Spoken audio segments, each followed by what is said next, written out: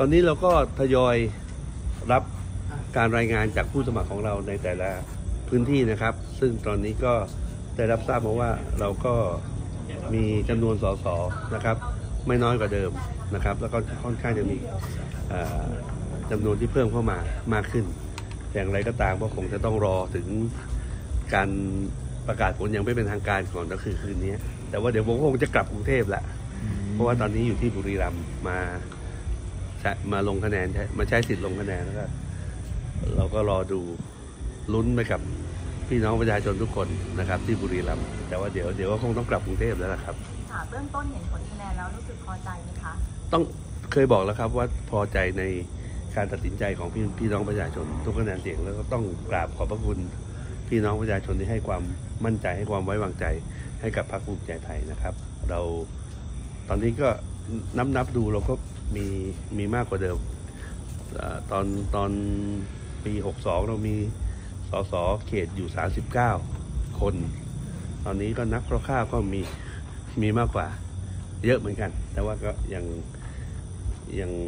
ยังไม่นิ่งเท่าไหร่ มีเพิ่มมีลดอะไรเงี้ย ก็เลยยังไม่กล้าพูดอะไร ที่ยืนหยัดโตมาได้ตลอดนี่ก็คือ อะไรที่ทำให้ประชาชนเชื่อถือไว้ใจเราครับ ก็คงเป็นผลงานเป็นการทำงานนะครับ แล้วก็อย่างที่ได้เรียนนะครับ สสของภาคภูมิใจไทย เราก็มีความคุ้นเคยกับพี่น้องประชาชนอยู่ในพื้นที่ตลอดเวลานะครับ แก้แก้ไขปัญหาให้พวกเขาตลอดเวลามีอะไรอยากจะบอกกับประชาชนที่ลงคะแนนก็ต้องกราบขอบพระคุณในคะแนนเสียงนะครับ ท่านให้พี่น้องประชาชนเอ่อได้ทำให้พรรคภูมิใจไทยโตขึ้นนะครับ อีกขึ้นมาอีกระดับหนึ่งในการเลือกตั้งครั้งนี้ ถ้าเรานับลำดับตอนนี้เนี่ยก็ขยับจากที่ 5 เมื่อคราวที่แล้วมาเป็นที่ 3 นะครับ เรานึกว่าเราจะได้เป็นที่ 2 แต่ว่า ก็ต้องแสดงความยินดีกับพรรคก้าวไกลพรรคเพื่อไทย แล้วก็ทุกๆพรรคที่ได้รับความไว้วางใจจากพี่น้องประชาชนจะเข้ามาเท่าไหร่นะครับ ก็คือเข้ามารับใช้พี่น้องประชาชนได้ได้ทุกพรรคแล้วก็ ก็ถือถือว่าเป็นผู้แทนของของของปวงชนชาวไทยนะครับ บทบาทจะอย่างไรก็แล้วแต่ค่ะหลังจากที่เราสังเกตการณ์การเลือกตั้งในครั้งนี้เรายังมีความเป็นห่วงหรือว่ามีความกังวลในประเด็นไหนบ้างไหมคะตอนนี้เหรอฮะใช่เอ่อเอ่อครั้งเนี้ยค่ะ ที่เราโหก็ต้องต้องต้องดีใจเลยครับ มันใหญ่ขึ้นอะ มันมันมีจำนวนเพิ่มมากขึ้น ก็เป็นไปตามที่เราคาดการไว้นะครับเอ่อ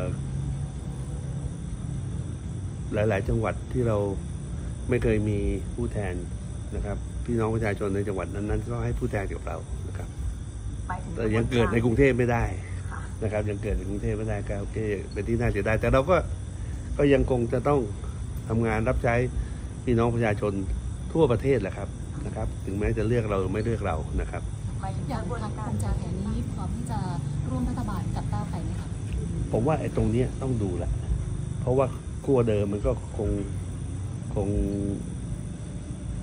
อะไรอะ ต้องดูไอ้ไอ้จำนวนสสแต่ละคนของแต่ละพรรคที่เข้ามานะครับค่ะดูกระบวนการเดี๋ยวกระบวนการเลือกตั้ง มันจะมีช่องโหว่อะไรที่เราจะมีความกังวลไหมคะในครั้งนี้ไม่มีแล้วครับ ผ่านไปแล้วนะครับ ผ่านไปแล้ว เราก็คงไม่ไปไป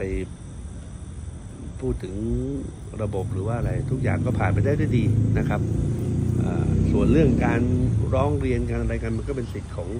ของผู้สมัครแต่ละคนตรงนั้นเราตัวตัวพักก็คงคงไม่ได้ไปไปกำหนดอะไรเป็นการตายตัว มีตัวแทนพรรคการเมืองไหนโทรหาหรือยังไม่มียังไม่มีเลยนะครับถ้าหากว่านี่ก็อยู่กันเงียบๆอยู่ที่บุรีรัมย์นะคถ้ารับหากว่าจะร่วมกับก้าวไกลนี่ติดขัดอะไรไหมคะผมว่ารอดูรอดู ผลคะแนนนะครับที่จะออกมาอย่างน้อยให้มัน